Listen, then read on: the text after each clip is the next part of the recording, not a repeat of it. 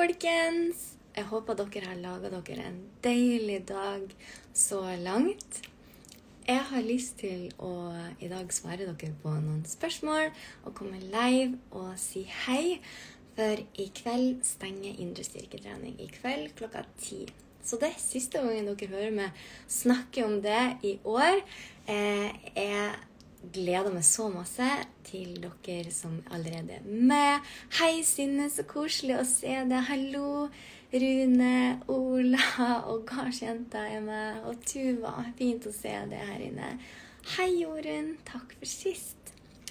Eh, først har jeg bare lyst til å si tusen takk til dere som har vært med på webinar og foredrag som jeg hadde da forrige mandag og nå på mandag. Og eh, det har vært så fint å holde kontakt med dere på mail. Jeg har sittet oppe til midt på natta og svart dere på mail.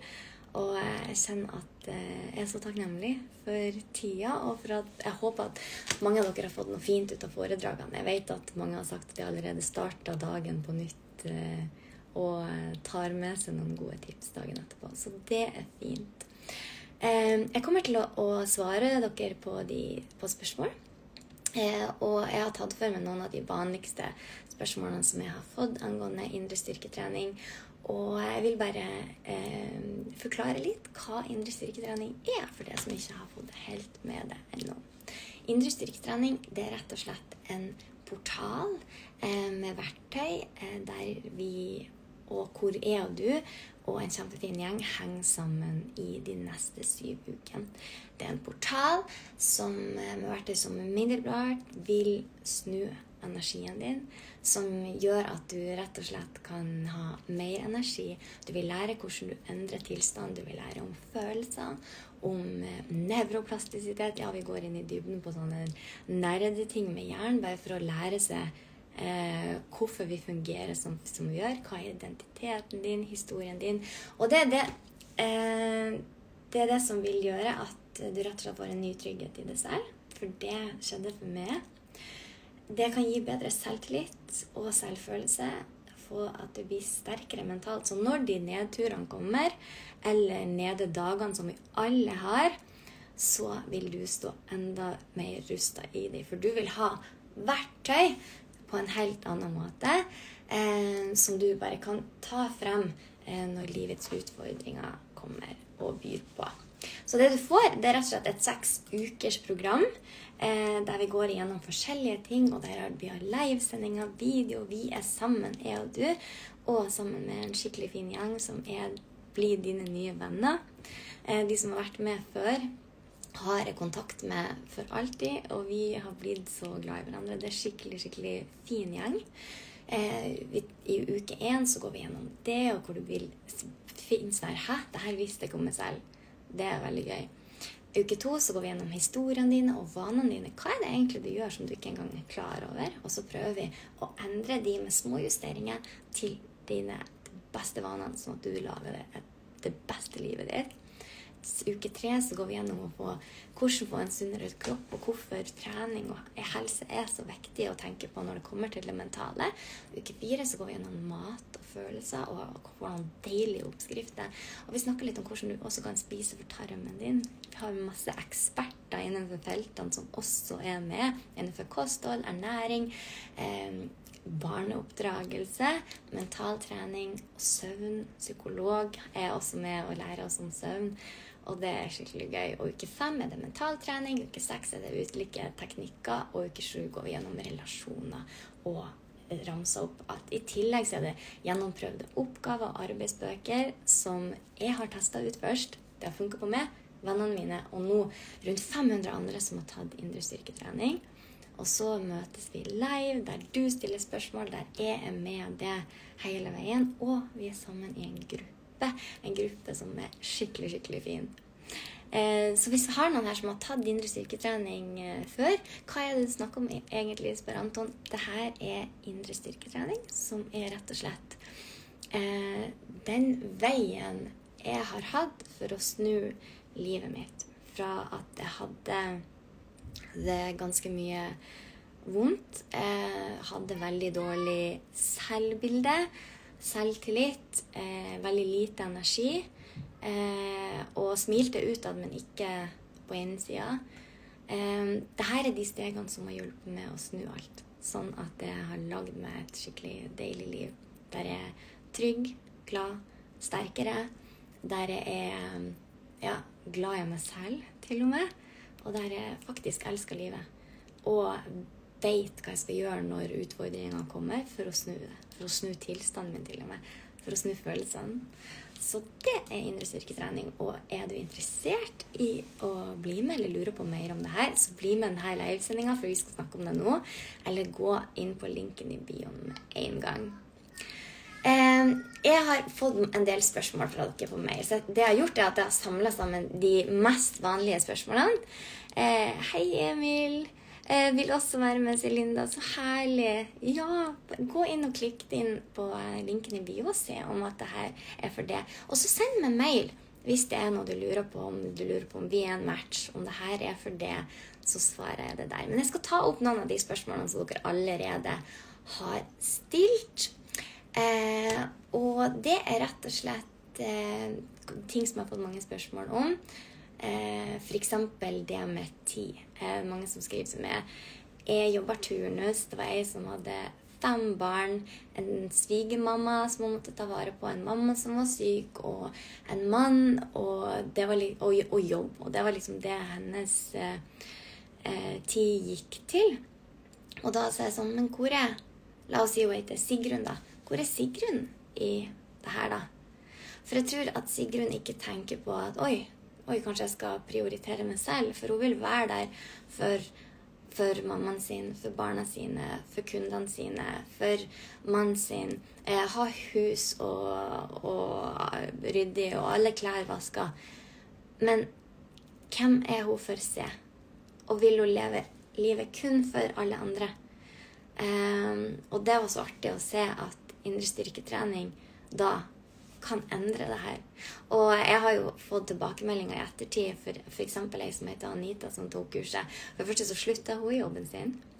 Og begynte nå som det hun egentlig drømmer om etter å bli med på indre styrketrening. Og hun sa noe som jeg syntes var så kult, at mannen hennes kjente hun ikke igjen. Hva hadde skjedd? Nei, det var indre styrketrening hun hadde tatt og sagt da. Fordi at hun hadde blitt så mye mer energisk og glad.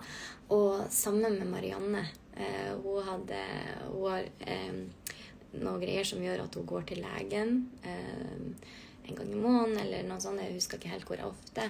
Og han har sagt sånn Hva har skjedd med deg, Marianne? Du er annerledes. Og det er jo det som har skjedd med meg òg etter å ha tatt de, de stegene her. Jeg har blitt annerledes jeg smiler. Når jeg våkner, så er det ikke rett i slumreknappen eller bare 'Å, ny dag', eller 'Å, tenker på alt det skal', eller, eh, eller at jeg bare ser det dårlige været eller negativiteten. Det er faktisk sånn at jeg har det skikkelig godt, og at jeg smiler, at jeg gleder meg til en ny dag. Og du som lurer på om du ikke har tid. Ja, alle har tid til å ta indre styrketrening. Og grunnen til det er fordi at eh, det er online og det er nettbasert, som gjør at du kan rett og slett bare lytte til det når det må passe deg. Du hører sikkert på musikk eller podkast. Hør da neste gang på indre styrketrening i stedet, og lære litt om hvordan du ja, kan få det bedre, rett og slett. Så eh, jeg vet at man tenker man har turnus, man jobber, man har masse greier. Men det her er mulig å ta i det små. Se det når man bretter klær, eller mens man lager middag. Ha det bare på øret. Det som er så kjekt med at det er digitalt. Og så møtes vi jo én gang i uka i kursperioden, der vi er live sammen, jeg og du, jeg svarer på dine spørsmål og hjelper deg på din vei med mine erfaringer, og nå også som NLP practitioner. Eh, så det er veldig spennende. Så Eh, og de livesendingene har rett og slett eh, gjort sånn at de er i forskjellige tidsrom, sånn at alle skal ha muligheten til å bli med. Og hvis det ikke har mulighet, så er du bare med rett og slett ja, dagen etterpå, eller måneden etterpå, eller fire måneder etterpå. For det er også tilgang til kurset i et helt år. Men laster du ned alle på, altså PDF-ene og alt, for du får alt innhold som er mulig å laste ned også, og på den måten så har du det rett for livstid, rett og slett. Og så, ja, så bare still. Det her kunne tenkt meg, sier Jorunn. Så herlig. Ja, har du noen spørsmål angående det, så still det gjerne til meg. Jeg har også noen som har spurt meg om at jeg har lite energi, eller noen føler at de er på randen av utbrenthet, eller at de har liksom nok annet, og det skjønner jeg. Eh, men jeg vet at hvis du tar indre styrketrening, så vil det, de tipsene der inne lære deg hvordan du prioriterer på best mulig måte. Og det her er ikke bare mine tips som jeg har henta ut i lufta. Dette er basert på forskning, mental trening, på det som jeg har lært selv av å gå i psykiatrien i 21 år. Alle de beste tipsene som har funka på meg først, har jeg putta i den portalen som jeg kaller indre styrketrening. Og jeg kaller det indre styrketrening fordi vi jobber med det indre. Og, men det er ikke noe vi har blitt lært opp til å gjøre. Det er ikke noe vi lærte på skolen. Det er ikke noe som er allmennkunnskap. Dessverre. Vi tenker at når ting blir så dårlig som, som hvor som helst, da kan vi gå til psykolog. Og så tar det jo tid før man får tid hos psykolog. Ja, det gjør det. Eh, ofte. Eh, men jeg tenker at det er mulig faktisk, hvis man bare har lav energi, lite motivert, ikke kjenner på den gleden og virkelig kjenner at livet er deilig, så kan man ta tak i det på en enklere måte med å bruke mental trening. Og starte nå. For å forebygge, for å lage seg et deiligere liv. Flere av de gode dagene. Jeg sitter ikke her og lover det eh, at du skal bli lykkelig hver dag resten av livet. For sånn er ikke livet, og sånn skal ikke livet være. Hvordan skulle du følt på kontrastene da? For vi setter ikke ordentlig pris på lykke eller kjærlighet hvis man ikke vet hvordan det er å være ensom og ikke ha det bra, f.eks. Kontrastene i livet skal vi ha. Og dårlige perioder vil komme. Og dager der du ikke føler det på topp, vil komme. Men har du tatt indre styrketrening, så vil du vite hvilket verktøy du kan hente fra verktøykassa di for at du skal stå i den perioden på best mulig måte. Eller snu den dagen hvis du trenger det. Jeg har til og med noen øvelser som gjør at du kan endre tilstanden din sånn hvis det er det du trenger. Jeg har noen øvelser som gjør at du kan eh, øke det der, eh, selvtillitsfølelsen på bare to minutter. Hvis det er det du trenger. Hvis det er sånn at nå skal du inn og ha et foredrag, eller du må bare nå, nå har du to timer igjen med ungene dine. Du må bare holde energinivået oppe, sånn at du får lekt og får vært sammen med dem. Så har en måte å gjøre det på. Men det er også viktig å, å ta vare på seg selv og følelsene sine. Jeg tror vi er veldig eh, kjent med at vi bare dytta følelsene våre til side. Det var i hvert fall sånn jeg gjorde det. Og det utarta seg i både sykdom og negative mønstre eh, å håndtere følelser på. For jeg har blitt opplært til at vi skal ikke gråte eller sutre eller være triste. Eh, vi skal være flinke, pertentlige, og i hvert fall gutter. Gutter gråter ikke. Store gutter gråter ikke, liksom. Det, vi er ferdig med det, tenkte jeg la oss eh, skape La oss rett og slett redefinere det her. For vi har alle følelser. Følelser er rett og slett bare kroppens måte til å prøve å kommunisere med oss på hva kroppen trenger. Og det må vi ikke skyve bort. Det må vi også ta tak i. Men gjøre det på en fin måte. Og alt det her lærer du i indre styrketrening. Så om du har lite energi og føler du har lite energi til å ta det, så kan det gjøres på en så enkel måte at du bare ligger på sofaen putte inn en sånn ørepropp, og så lytter du til det. Og på den måten vil du òg få med deg kunnskapen. Og så gjør du de oppgavene når det passer det. Og der vil du bli ordentlig kjent med deg selv. Det er skikkelig skikkelig spennende. Det er så gøy. Og det her er en siste indre styrketrening for i år. Og hvis det er klokka ti, så vil du være med, så bli med innen da. Jeg har også fått eh, eh spørsmål om hva er forskjellen på det her og gå til coach, f.eks. Eh, eller psykolog, eh, er det sånn at man eh, kjenner at man er veldig dårlig eller, eller har, tror de har en diagnose eller har en diagnose, så, så skal man få terapi og ordentlig hjelp for det. Jeg er ikke terapeut, jeg er ikke psykolog. Jeg utdanner meg til å bli coach. Eh, men jeg har en tonn av erfaringer, dessverre, av negative erfaringer som jeg selv har kommet meg ut av. Og det har gjort til at jeg har samla opp noen eh, rett og slett noen fine strategier for meg, og det er de jeg deler videre med det.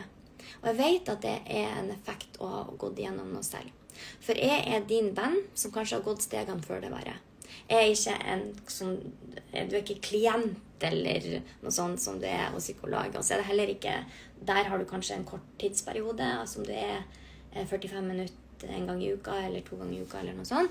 Indre styrketrening kan du se akkurat der det passer det, når det passer det, om det er klokka tre på natta, om du er på ferie, eller når som helst.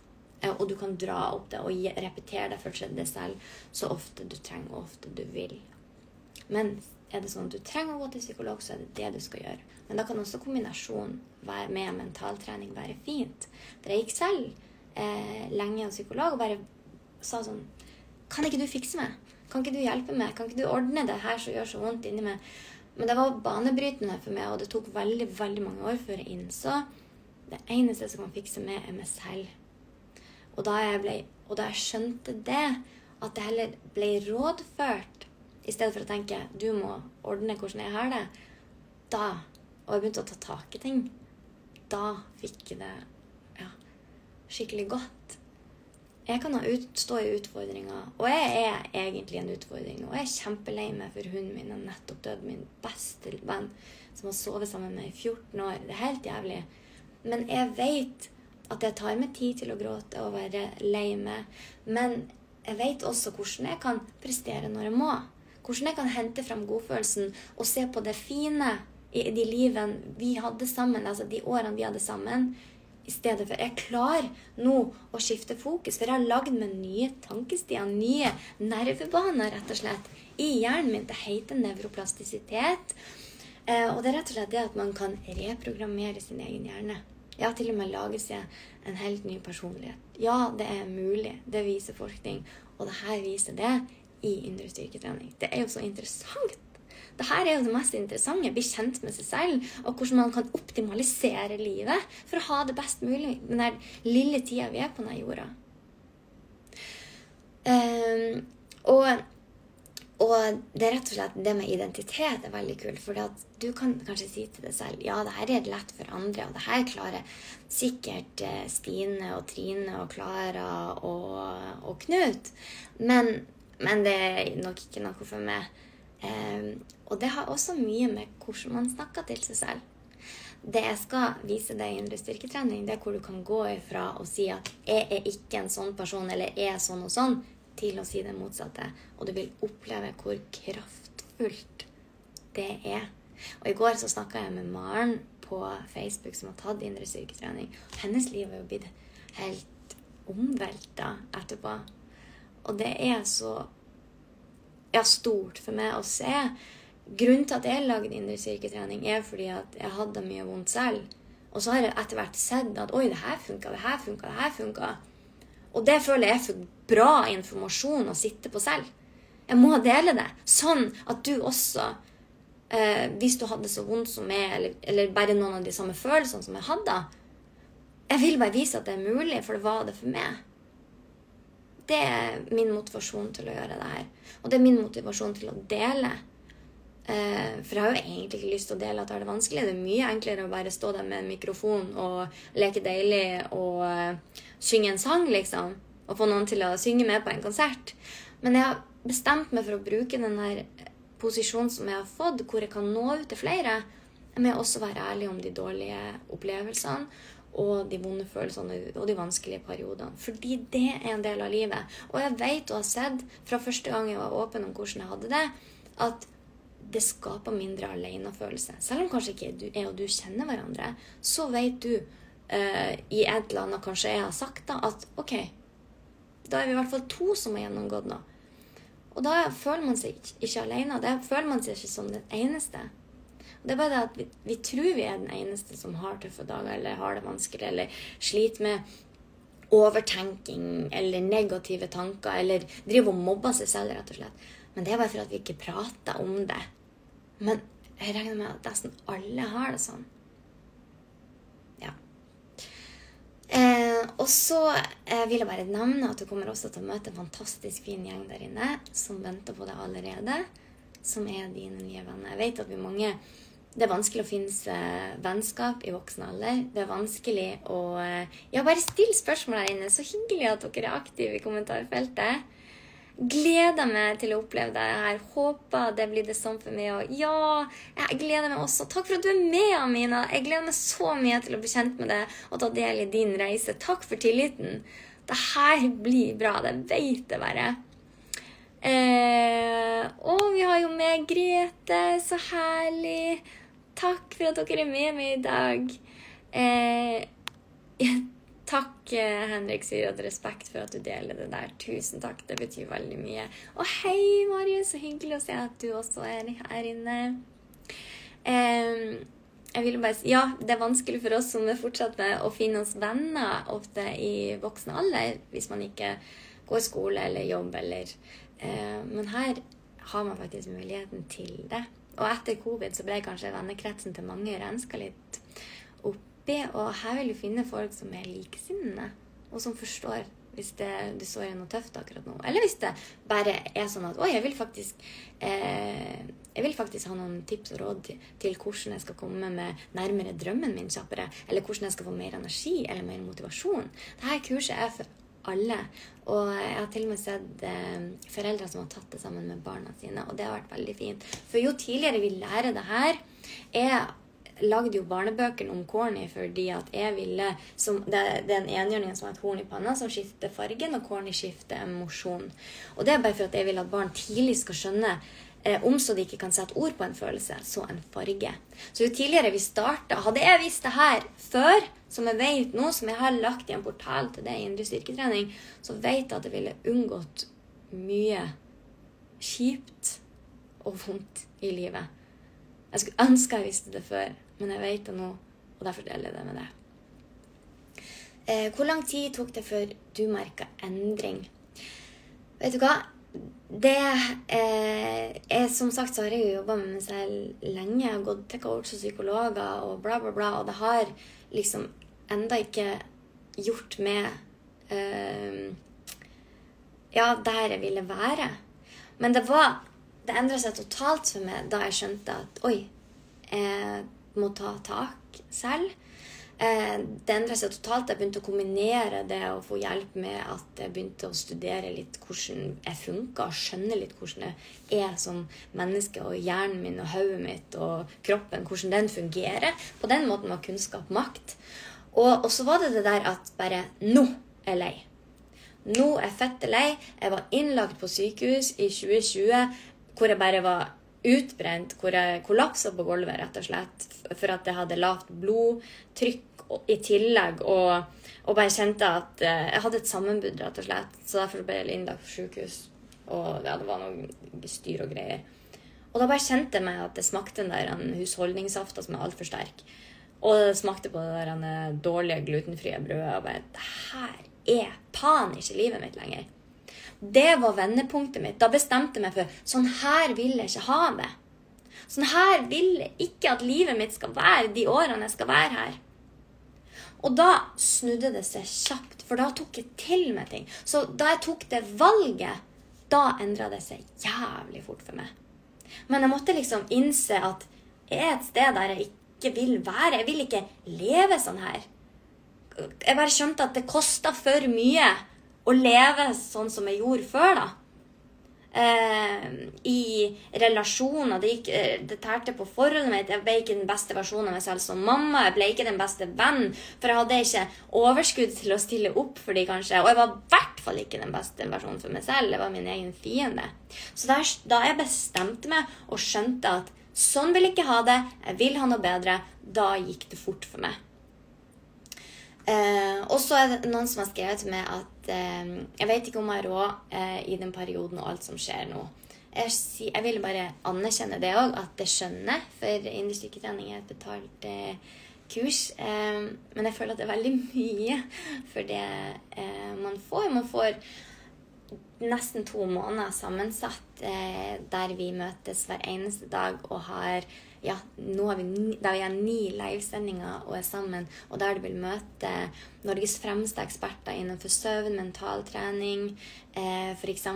Ja, Helene Ragnhild, som er ekspert på kosthold, og tarm, og hun vil svare det på dine spørsmål du måtte ha om din, ditt kosthold og din tarm. Alt det er liksom inkludert, så det er mange kurs i ett som man får. Og det er online, og du kan se det når du vil. Og jeg har også gjort det mulig å delbetale i seks omganger eh, den gangen her, for de som ønsker det.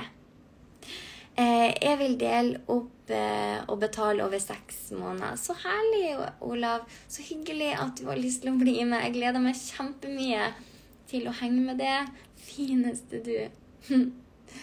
Vi har jo hatt litt kontakt på mail, så jeg kjenner det jo igjen når jeg ser det her nå. Um, og jeg, når det kommer til økonomi, så kan ikke jeg fortelle det om det er et eller annet du kan prioritere annerledes. Jeg skal ikke si at du skal kjøpe det, den kaffelatten eh, eller hva det er. Men det er det det koster. Den, kanskje ja, en litt eh, eksklusiv kaffe om dagen hvis du ser hva man har, hvor lenge man har mulighet til kurset. Og jeg vet ikke om, om du er villig til å hive deg inn i det her nå, hoppe før det er klart. Har du ikke mulighet, så har du ikke det. Eh, og da håper jeg at du får noen fine tips på at du er med på mail eller her på Instagram. Men er du klar og har mulighet til å bare bli med nå, så, ja, så tar jeg også risiko. Eh, så, eh, all risikoen, så du får 14 dagers eh, At du får teste, rett og slett. Er det her for meg? Føles det riktig? Er jeg klar for denne endringa? Og ser du da etter to uker at det her var ikke for det likevel, så sender du meg bare en mail, og så får du pengene dine tilbake. Men jeg vet også at hvis du investerer i det, så er det den aller beste investeringa. Jeg skjønner at det kan være tøft. Jeg vil bare si det. Jeg har vært eh, musiker, og man kan kanskje si at å ja, det ser jo eksklusivt ut. Men jeg har vært ganske fattig musiker ofte. Eh, og hadde to-tre jobber på si, og måtte ha bodd på syrommet til mormor.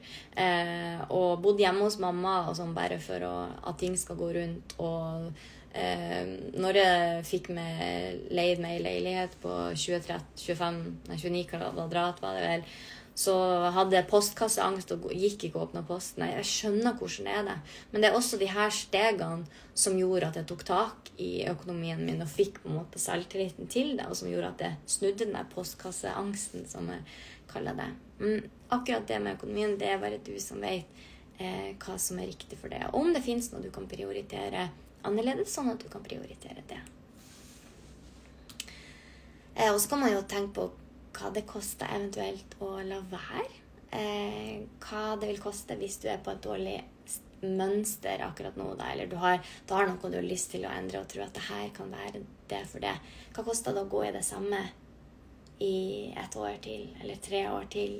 Eller hva vil det koste hvis du skulle ha eh, hatt råd fra en kostholdsekspert, f.eks., om tarmen din, og stilt den personlige spørsmål.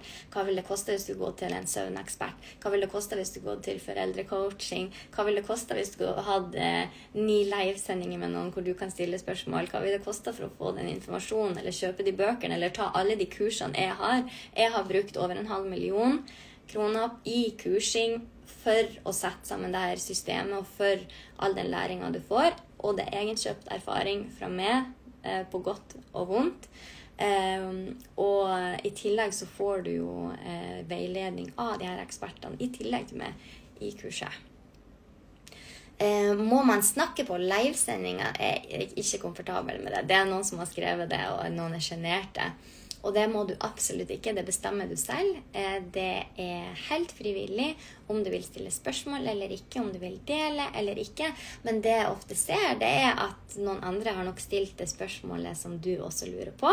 Så du vil få nytte av å ikke stille spørsmål selv også. Og lære av sine andre spørsmål. Og ofte er det sånn 'Å, det visste ikke jeg lurte på engang'. Så vil du lære av hva de andre ja, hvordan de andre stiller spørsmål, rett og slett. Og så vil du også, om du ikke kan være med på den livesendinga, så blir det lagt ut i portalen etterpå, like etterpå, eller en dag etterpå, sånn at jeg får tid å bare skrive tidskode når det og det og det og det spørsmålet kom, sånn at du slipper å se hele livesendinga hvis du bare lurer på den ene tingen. Så er det bare Å, der kommer mitt spørsmål klokka når det har gått 33 minutter, f.eks., og så klikker du der, og så får du med deg det du ønsker. Det skal være lettvint for det. Du, ha, du har, får en app som du har på telefonen din, som gjør at du kan bare sette proppen i øret og høre på det når det passer det, og du har tilgang i et helt år. Eh, og så ei som skrev til meg Føler jeg meg at det går opp og ned. Jeg føler jeg trenger det her på dårlige dager. Men nå er jeg i en god periode. Passer det for meg da, eller bare for de som er langt nede? Å, det er et skikkelig godt spørsmål, for det her er for alle. Eh, føler jeg. Det her er, du, altså det er jo mental trening, og det å lære om hvordan hodet funker, kroppen funker, du funker, hvem du er, det er jo bra for alle, uansett hvilken livssituasjon du er. Og så er det fint å ha, hvis når de nedperiodene vil komme, eller når det vil skje et eller annet i livet ditt som er dumt, det er jo fint å ha de verktøyene der, og vite hvordan du kan forebygge det. Og har du barn, så er det veldig fint å vite de her tingene, sånn at du kan lære det videre.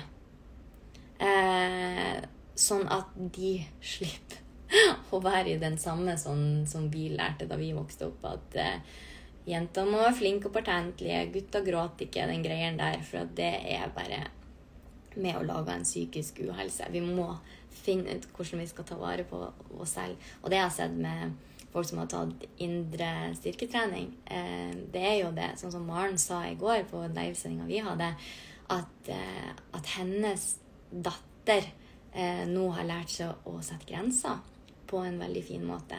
Gjennom at jeg har lært hodet først, og at de har en helt annen morgen der de rett og slett har en fin morgen sammen, de som familie, enn at det er stress og at det bare hiver på eh, kast ranselen etter de og nistepakker, sånn som det var før. da. Terje sier du er en av de absolutt flotteste ambassadører for psykisk helse vi har, der eh, vi formelig kjenner hjertevarmen din. Å, tusen takk, Terje.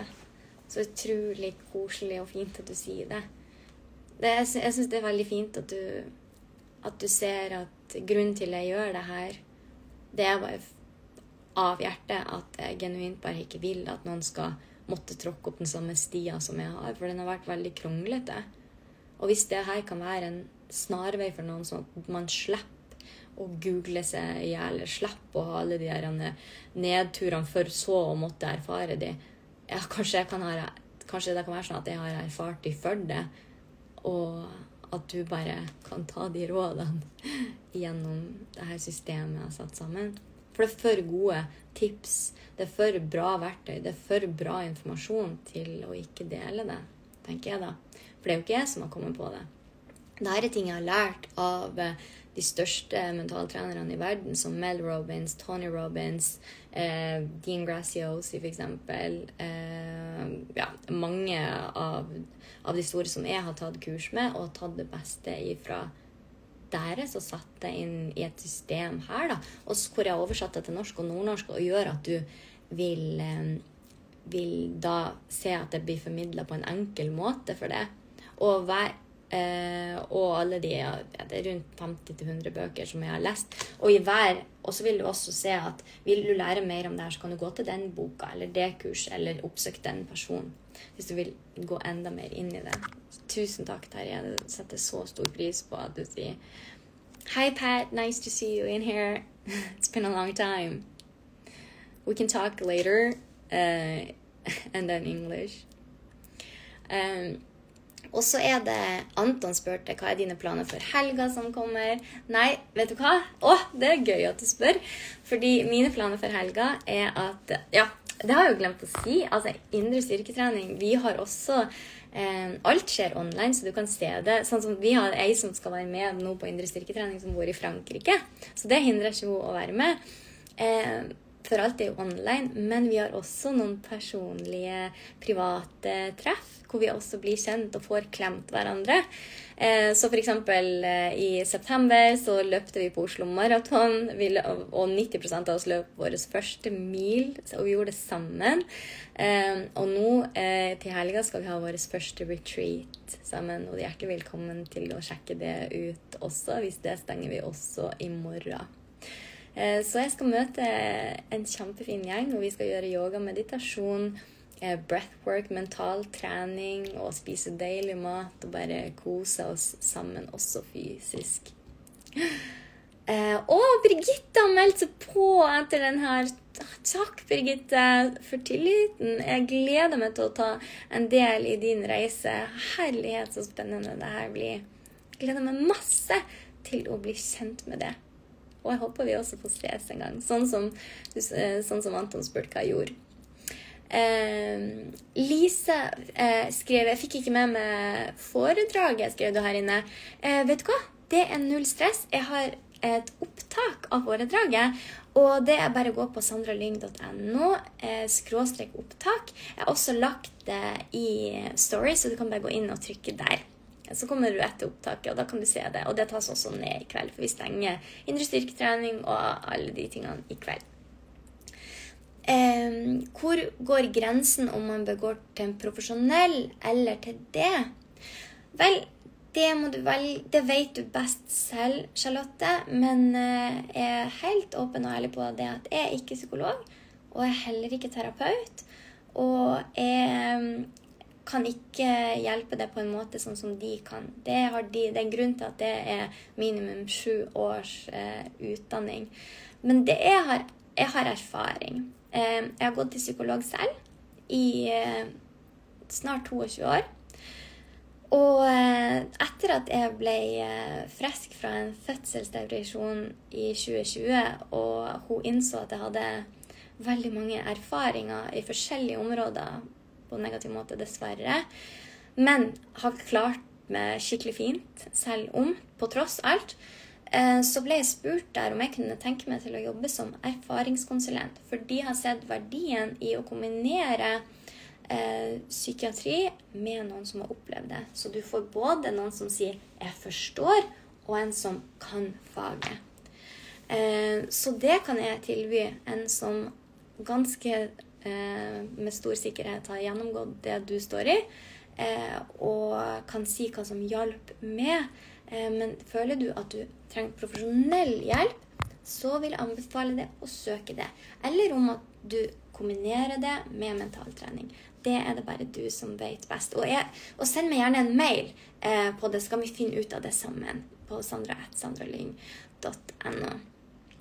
Eh, bare gå inn på sandralyng.no slash inspirasjon. Der vil du også se om andre sine erfaringer. Jeg vet at noen har gått i psykiatrien, f.eks., og så har de tatt indre styrketrening, og så har de ikke trengt å gå i psykiatrien lenger. For det de kanskje egentlig trengte, var bare de små justeringene. At de kanskje egentlig ikke eh, var eh, sånn at de trengte den type profesjonell hjelp. Men det er det bare du som vet, kjære det. Jeg er ikke psykolog. Eh, og så ta så meld dere på da innen klokka ti i kveld, for da stenger vi. Eh, det var et bra foredrag, Sandra. Så bra og så hyggelig at du var med, kjære. Å, Jorunn! Har meldt seg på! Gud, så herlig, Jorunn. Jeg gleder meg så mye til å ta del i din reise og bli kjent med det. Og har dere noen spørsmål og lurer på om vi er en bra match, eh, som jeg ikke snakka om her, så send meg en mail, og så skal jeg svare det helt ærlig på det. Som jeg alltid er. eh, så Koba vet, skriv er det vanlig at det blir litt sosialt der? At man treffer andre som tar kurset? Ja.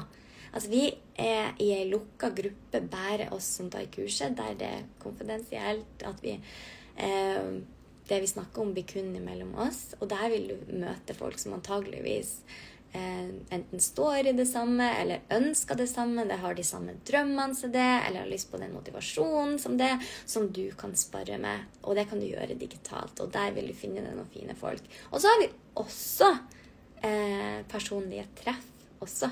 Sånn som den helga her, så skal vi være sammen en hel helg, f.eks. For, for de som ønsker en ekstra kickstart bare på Eller de som har vært med før og har lyst til å bare bli med. Hvilken plattform foregår livesendinga? Det er rett og slett eh, på Zoom. Hei, kjære 92M, Jeg vet ikke hva du heter. Um, eh, de foregår på Zoom, eh, så er, da får du bare en, en, egen link til det. Og så kan du velge om du vil da være med på kamera. Jeg syns det er litt hyggelig å ha, sånn at vi kan snakke med hverandre hvis du har lyst til å stille spørsmål på den måten. Eller du kan velge å ikke ha på kamera, og du kan velge å ikke stille spørsmål. Eh, Leiro spør er det mest kvinnelige deltakere, eller er det blanda?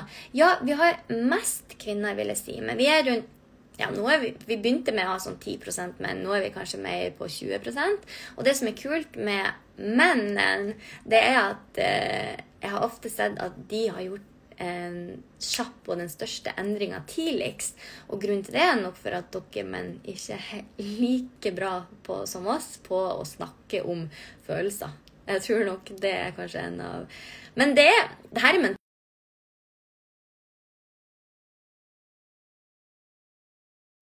Er dere her? Yes. Um, og det er mental trening, og det passer uansett hvordan kjønn man er. Du er stor inspirasjon, så jeg er glad i deg like måte, Karl. Tusen hjertelig takk. Så koselig av det. Eh, hils typen din fra en slappfiskkeeper. Ja, det husker jeg. Hei, det skal jeg gjøre. Takk skal du ha. Hei, Andrea. Så koselig å se deg her inne. Eh, Kova Vesper også er mindfulness en del av kurset. Ja, herlighet. Er du crazy, jeg skulle til å si. Selvfølgelig er mindfulness en del av kurset. Jeg har en fantastisk coach som heter Kathleen eh, Connery, som er ekspert på mindfulness. Eh, hun skal være sammen med oss den helga her, og jeg skal snakke med henne etterpå om hun også kan bli med på en av de sendingene i kurset. Men du har eh, det er f.eks. Blir du med i dag allerede, så har jeg f.eks. en meditasjonsøvelse som du kan bruke i natt for å få sove bedre. Vi har en som hjelper deg når man er stressa. Vi har noen mindfulness-øvelser som går på bodyscan. Eh, vi har også yoga. Vi har noe som heter breathwork. Altså, det som er så kult med indre styrketrening, det er at du har alt samla på ett sted. Så det er litt av alt for hvordan å snu litt av alt. Så gjør man små justeringer på litt, på alle tingene, så blir man veldig mye altså, Se f.eks. på de som gjør sport. da. Jeg leste i denne boka eh, 'Atomic Habits' at han snakker om et fransk sykkelteam. Jeg sier om jeg ikke sier det riktig. Um, sykkellag som skulle uh, drive med sykkelsport. Skjønner du hvor dårlig jeg er på det? Prøver å gjenfortelle det bare. Men det var det, det, som gjorde at de ble det verdens beste lag etter hvert, var at de gjorde de bitte små justeringene som ikke andre tenkte på. Eh, som at de skulle sove bedre, f.eks. Sånn at de hadde eh, sånn at de gjorde tøyeøvelser på en helt egen måte. Sånne små ting. Og det er det jeg føler litt indre styrketrening er. Du gjør noen små justeringer på morgenen. Du gjør noen små justeringer i hvordan du tenker. Du gjør noen små justeringer i hvordan du endrer følelsesmønsteret ditt. Eller hvis du er i et dårlig mønster, eller endrer noen små vaner, eller gjør noen små justeringer. Da skaper det stor endring. Stor endring. Jeg er faen ikke den samme personen som jeg var bare for tre år siden. Og det er på grunn av det systemet her. Så jeg, kan, jeg er så stolt av det. Jeg vet at det funka, for det funka på meg. Ikke bare meg, men 500 andre eh, deltakere som har tatt det. Så hvis du lurer på hva andre har sagt, så kan du gå inn på sandralyng.no skråstrek eh, inspirasjon og lese om du ser noen av om du ser, kan kjenne deg igjen i noen av de tingene som står der, f.eks. Og klokka ti i dag så stenger vi. Så har du et aller siste spørsmål, eller fikk du ikke svar på ditt spørsmål, så bare send meg en mail på sandra.sandralyng.no. Og dere som er med og har blitt med bare nå mens jeg sitter og skravler her, jeg gleder meg til å ta tak i reisen deres og bli med på den. Takk for tilliten. Herlighet, det her blir spennende, og denne høsten blir annerledes. Lag deg en deilig dag videre, min venn. Vi snakkes.